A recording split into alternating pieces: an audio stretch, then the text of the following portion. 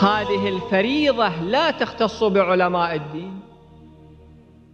أنتم انظروا إلى جميع الكتب الفقهية الأمر بالمعروف والنهي عن المنكر هل يختص بعلماء الدين؟ لا.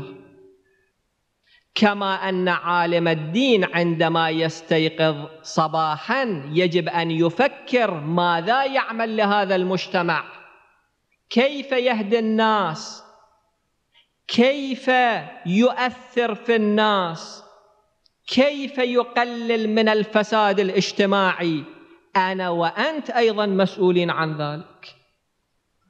عندما أنا أقوم صباحا أفكر في ذاتي صحيح. أفكر في عائلتي صحيح. أفكر في تجارتي ومشاكلي الخاصة صحيح. ولكن أيضا الأمر بالمعروف والنهي عن المنكر والإرشاد يشمل على نحو الوجوب الكفائي كل واحد واحد من المكلفين.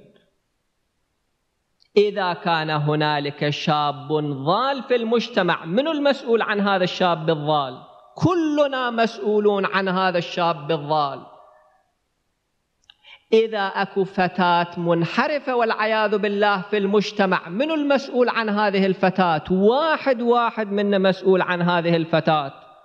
الله يوم القيامة لا يأتي بعلماء الدين ويقول لماذا لم تبلغوا؟ يأتي بواحد واحد منا ويقول لماذا لم تبلغوا؟ أنا لا أكشف لكم سرا هذه المسألة من ضروريات الفقه. واتفق عليها جميع الفقهاء أن الواجبات الكفائية يكلف بها واحد واحد من المكلفين.